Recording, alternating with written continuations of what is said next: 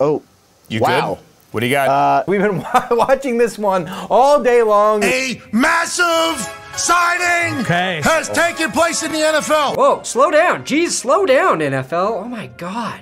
NFL free agency 2024 is underway. Today through Wednesday is the tampering period, which is like foreplay. But you're not allowed to climax officially until Wednesday. Teams and players have 48 hours to agree to deals before the new league year starts on Wednesday. And we've had huge moves already. Russ to the Steelers, Big Kirkos going to the Falcons. Baker Mayfield signed a big deal to return to Tampa. Today, I'm going to update you on as many key signings as I can. And come Wednesday or Thursday, I'll have the official winners and losers, losers of free agency to provide a better, bigger overall picture of what went down. Until then, I'll try not to drown in what is just an onslaught of signings. It feels like more signings are happening more quickly this period than ever. Let's begin with the Packers, who released five time All Pro left tackle David Bakhtiari after three injury riddled seasons. I feel for David, who's gone through hell trying to get his knee right after tearing his ACL uh, December 31st to 2020. Since then, he's only been able to play in 13 games. If healthy, though, someone is getting a great tackle. Oh, yeah, he's a jet. He's more of a jet than Riff from a West Side Story. When you're a jet, you stay up. General Manager Aaron Rodgers is already working the phone. Uh, at least he got to leave a message for Bears fans in his final game as a Packer. Also gone is linebacker De'Vondre Campbell after three seasons in Green Bay. Now with Campbell and David Bakhtiari gone, the average age of the Packers roster has dropped into the DiCaprio zone at 24.9. Any lower, and they're getting into the Jerry Sandusky zone. The Patriots dealt Mac Jones to the Maxonville Macwars, where he will back up Trevor Lawrence, uh, the same quarterback that went 14 picks before him in the 2021 NFL draft. This move makes a lot of sense for Jones in two ways. First, uh, he was born in Jacksonville, and most importantly, because he's not good enough to start in the NFL. The Jaguars continue to bolster their offense, signing former Bills wide receiver Gabe Davis to a three year deal, who should be a great complement on the other side of Christian Kirk. This should help ease the loss of Calvin Ridley for Trevor Lawrence in the passing game. One of the biggest free agents, Christian Wilkins, has a new home in Las Vegas? Wait, what? Fuck, no, no, no! The Raiders got aggressive and added one of the top free agents this offseason, former Dolphins defensive tackle Christian Wilkins, who is about to make blocking Maxx Crosby for opponents a hell of a lot harder. Wilkins joins the Raiders on a four year deal worth 110 million. I don't like that this makes the Raiders a lot better. But I do like the idea that Wilkins goes from notoriously, relentlessly grabbing Josh Allen's dick and balls to presumably doing the same to Patrick Mahomes. Let's see how many Super Bowls Mahomes wins after getting sexually accosted twice a year, unless his brother's already been doing that to him. Mahomes has overcome a dislocated knee, a high ankle sprain, but uh, is he going to be able to sling it after having his testicles disintegrated? And I don't even want to imagine what Mahomes' voice would sound like without testicles. It, it's something that I, I've kind of embraced. Oh, sorry, didn't see you there. Today's episode is sponsored by manscaped.com slash good sports. Men, if you don't want to become free agents, single, or if you are a free agent and want to attract the right team, man or woman, you better look your best. And while pube maintenance is important, I'm talking about the hair that needs to be kempt for your first impression. Your face, your silly face. Two of my favorite tools are the beard hedger and the handyman. Two inventions so powerful, Christopher Nolan is thinking about making a film about them. I love the beard hedger, and honestly, I use it more than any other Manscaped trimmer. It's got a titanium coated stainless steel T blade to hedge those thick ass beard hairs with ease. The built in zoom wheel adjusts to 20 different levels for whatever beard length you desire. It's perfect. And the Handyman is tremendous. It's a compact face shaver, which admittedly I only use on my neck, but provides a great smooth electric shave that's also perfect for traveling. Both are waterproof, which makes rinsing to clean them, no problem at all. So, you know the drill. Use my link below, manscaped.com slash goodsports for 20% off plus free international shipping with my link and my link only. For all Bills fans out there, I'd like to officially say screw you to Dion Dawkins, who performed the worst free agency prank ever. Before announcing that he signed a three-year extension, he teased that he was leaving Buffalo and showing his allegiance to ranch dressing. Dawkins will actually return for 60.5 million to make sure Josh Allen and the Bills lose to the Chiefs again in the playoffs. Sorry, Buffalo. Sorry, I don't know why I'm hurting you, Buffalo. Just beat them.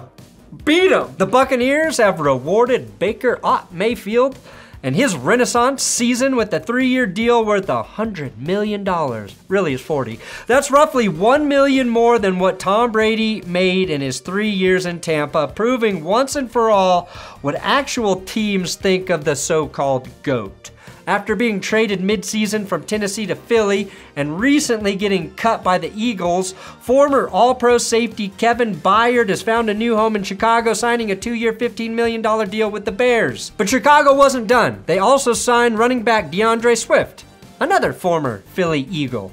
This was uh, Swift was actually the first signing in free agency, and with Justin Fields presumably leaving, the Bears were in need of a running back. If last offseason taught me anything, it was that I was way too high on Swift. Uh, I hope I'm wrong. I think he's a solid running back, but seeing both the Lions and the Eagles move on from Swift makes me think the Bears are probably overpaying for his services. Swift played behind two of the best offensive lines in the NFL and now goes to a middling at best line in Chicago. I think the Green Bay Packers made the stronger move in signing running back Josh Jacobs. I didn't mean to get that excited. I was trying to hold in a burp. As a Broncos fan, Josh Jacobs has made my life hell. So, congratulations on getting better, Green Bay. It looks like the Pack uh, got a new deal done with Aaron Jones as well, so I believe Green Bay will now have the best running back tandem in the league. Their biggest problem might be getting both of those guys enough touches, is what I would have said had contract talks between Aaron Jones and the Packers not broken down just a couple hours later. And I know this sucks for Packers fans. Everybody loves Aaron Jones, but this probably makes way more sense.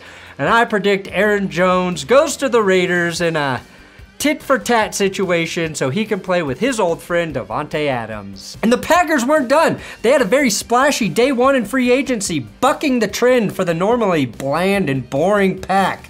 They signed Xavier McKinney to a four year, $68 million deal. Many believe McKinney was the best safety available based on skill and age. At just 24, he's a good six years younger than most of the safeties that hit the market, and Green Bay addresses one of their biggest needs day one. The Vikings are losing Danielle Hunter, but they signed former Texans pass rusher Jonathan Greenard to a four year, $76 million deal. Losing Greenard feels like the first thing that hasn't gone the Texans' way since drafting CJ Stroud.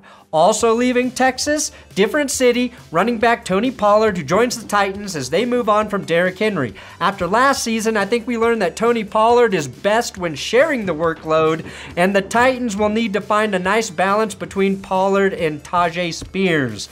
The Titans also added a big guy up front to block for Pollard, former Broncos center Lloyd Cushenberry, who had a breakout season in 2023 and is now cashing in with Tennessee. With Cush gone, there are officially zero players from the Broncos 2020 draft left on the roster. Awesome. The Eagles uh, keep trying to add depth on defense, and they signed former Jets pass rusher Bryce Huff to a three-year deal worth 51 mil. This is huge for Huff, who might actually have a chance to play with the lead this year. Huff is coming off a 10-sack season in which he played in like 10 total snaps. That's an exaggeration, but Huff had a pressure rate of 21.3%, second only to Micah Parsons. The question is, will that hold up when he has to play 8 to 900 snaps through the course of a season versus the 481 he had with the Jets last year? Philly wasn't done as they signed possibly the best running back on the market in, yeah, Saquon Barkley. Oh God, yes, I love you, Saquon, for going within the division and giving the biggest middle finger to his former team since Russell Wilson agreed to play for the Steelers for $1.2 million. D'Andre Swift was more productive than Barkley last season, but I think we'll see Saquon resume his 2022 and 2018 form behind the Eagles line and approach the 13 to 1500 yard uh, rushing mark and 10 plus touchdowns. The caveat there being if the tush push is less effective without Jason Kelce, Saquon could see a lot of goal line carries and possibly score 20 touchdowns. Geno Stone signed with the Bengals a two year, $15 million deal. If Xavier McKinney wasn't the best safety available, it was probably former Raven ballhawk Geno Stone. The Bengals get Stone on a very fair two year deal. Stone led the NFL with seven interceptions last season and now joins every other safety in the NFL by changing teams this offseason. The 49ers signed Leonard Floyd to a two year deal. Floyd was one of the Bills' most consistent edge rushers last season, and I think just a better player than Chase Young to fill in opposite Nick Bosa for the 49ers. Floyd had 10 and a half sacks, 41 pressures, and returns to the NFC West where he won a Super Bowl with the Rams back in 2022. And then finally, the New York Giants did something and they did something big. The Giants traded with the Panthers for edge rusher Brian Burns, a huge ad for the G Men, and another example of the Panthers' inability to keep talent on their roster. They also lost linebacker Frankie Luvu, the Panthers. New York, though, is giving Burns a new five year, $150 million deal, and they give Carolina a second and fifth round draft pick in exchange. I love this move for the Giants and for their defensive front. Dexter Lawrence has emerged as one of the best interior defensive players, and adding Burns to the edge opposite the developing Kayvon Thibodeaux feels like the first smart thing the Giants have done since starting Tommy DeVito. Now, it wouldn't be a That's Good Sports episode without a diatribe on Russell Wilson. Mike Tomlin lost one hour of sleep during daylight savings and accidentally signed Russell Wilson. Sleep deprivation really is incredibly dangerous. You blink, I'll cut your eyelids off. Don't you blink. I'd like to congratulate Steelers fans for reaching the Russell Wilson might really help us stage of life after a Hall of Fame QB retires. Now, you skipped a couple steps, firing your head coach or head coaches, cycling through a carousel of starting QBs. But as a Broncos fan, I feel for you. And more importantly, I understand you. Yes, I know the Broncos will still be paying 98% of Russ's salary in 2024. Guys, I've known that since last offseason when I made a video about how the Broncos could cut Russell Wilson. The Steelers get a steal.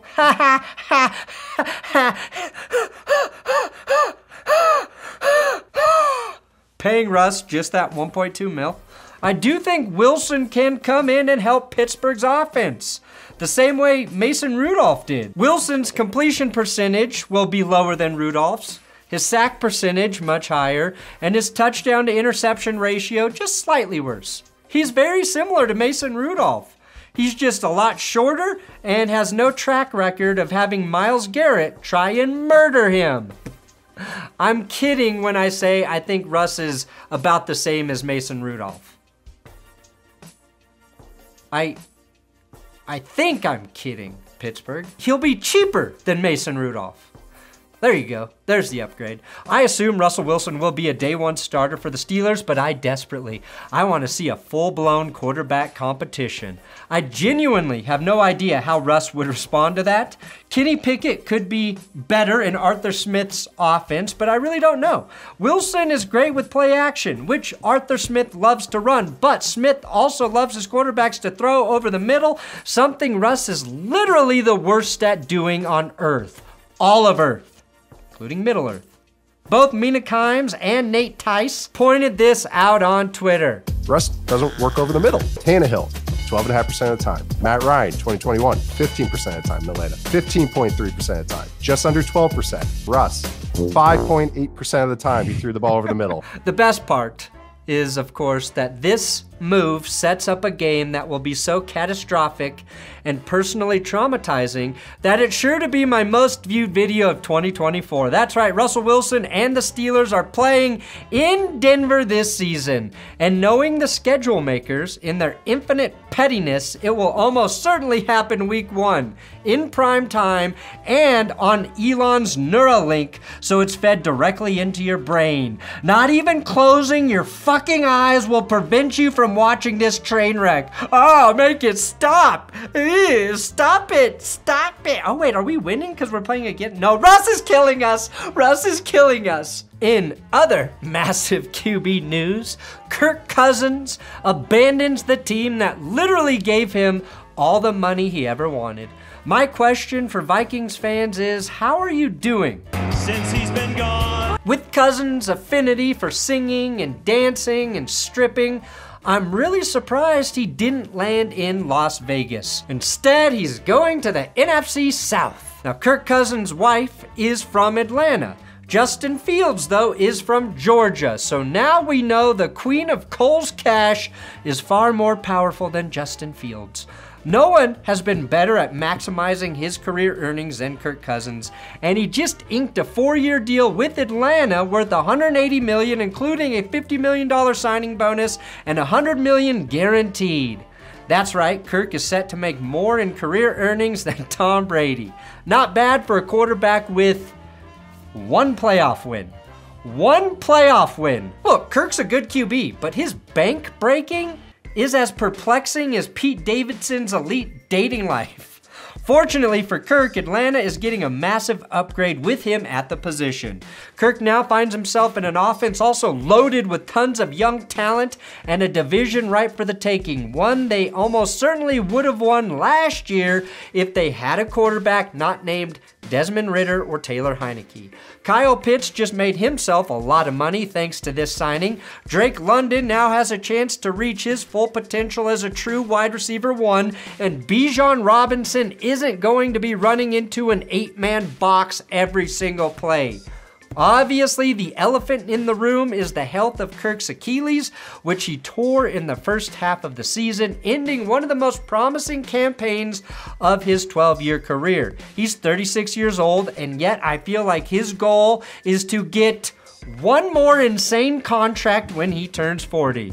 And I believe he can do it. And no, I don't believe that will be in Atlanta for a second. So Kirk Cousins took Justin Fields' job in Atlanta, and then Gardner Minshew snuck in and stole Justin Fields' gig in Las Vegas.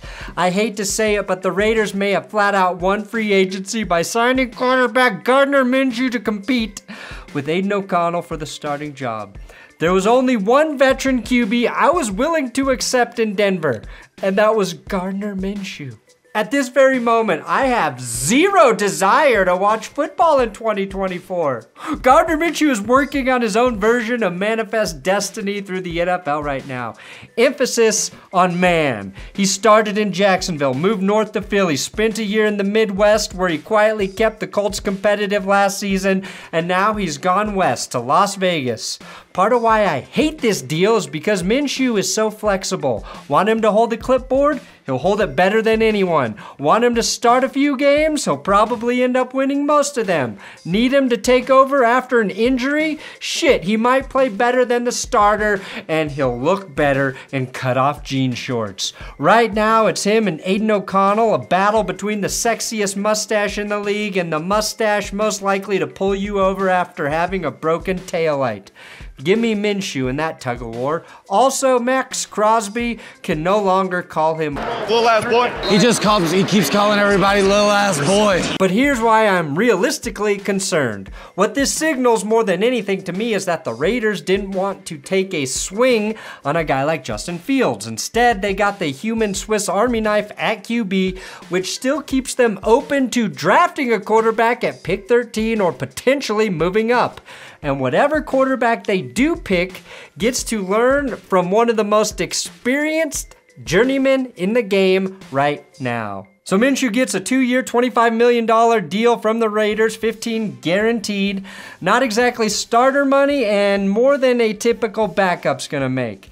You can pretty much guarantee that he'll start games, but they didn't go as far as to overpay him. I truly hate that I can see the Raiders getting smarter since Tom Telesco took over as their GM. If he doesn't carry over the injury luck from the Chargers, he might end up looking like a top front office mind pretty soon. And I mentioned that Minshew was quietly solid last year, and maybe not so quiet because the voters rewarded him with an all too well deserved Pro Bowl bid. Last year, he had more passing yards than Russell Wilson in just 13 starts, had a winning record with the first time head coach, and came within a drop pass of beating out the Texans for the AFC South title in Week 18. The Raiders are a better, more flexible team with Minshew, which is why this signing pains me so much on multiple levels. Thanks for watching That's Good Sports Free Agency Frenzy Day 1 edition. Again, we'll have a uh, an overview, biggest winners and losers of free agency in the next couple days. Probably a video tomorrow, so keep coming back.